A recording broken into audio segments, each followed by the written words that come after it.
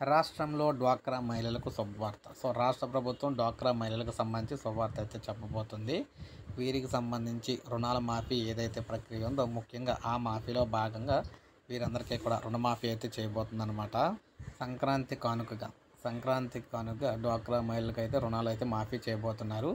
వాస్తవానికి సెప్టెంబర్ అక్టోబర్లోనే వేయాల్సి ఉన్నద ఉన్నది.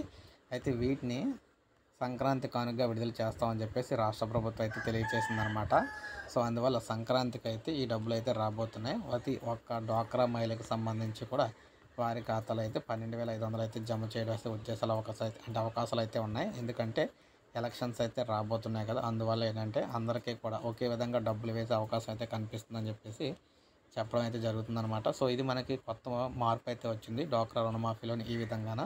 ఒక లైక్ చేయండి సబ్స్క్రైబ్ చేసుకోకపోతే మన ఛానల్ సబ్స్క్రైబ్ చేసుకొని ఫాలో అవుతానండి ఇలాగే మీకు పథకాలకు సంబంధించి లేటెస్ట్ అప్డేట్స్ అన్నీ కూడా మీకు అందిస్తూ ఉంటాను.